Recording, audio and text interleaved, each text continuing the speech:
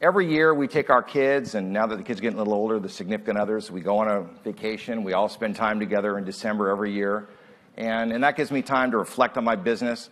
And because I knew that I was going to be talking about some of these things, I studied that cruise ship very carefully.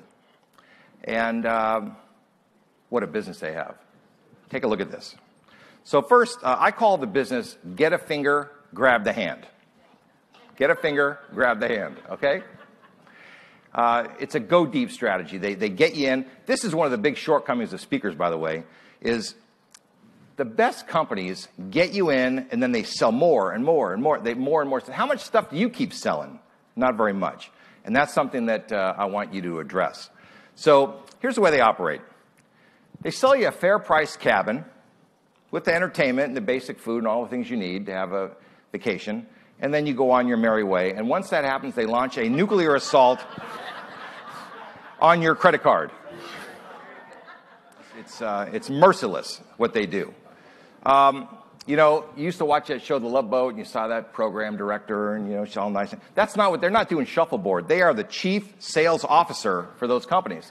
These are floating cash registers. I mean, that's all there is to it. And I, it's, it's just, it's a brilliant thing. And I'm going to tell you something. Then they take you to these excursions, right? And you get off the, the thing, and we, uh, we all went uh, dune buggy riding or something. So we got on these things. We're driving around this island.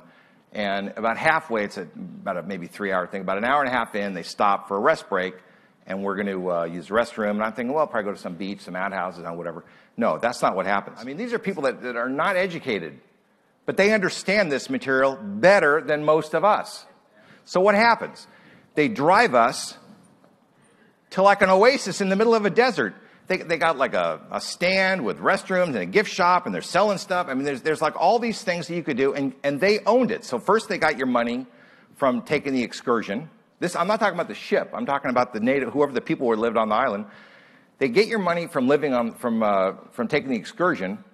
Then they take you to their place and they're selling you soda and they're selling you, I don't know, uh, little figurines and I don't know, uh, tchotchkes, all kind of tchotchkes of, of, every kind you could think of, shirts and goodies.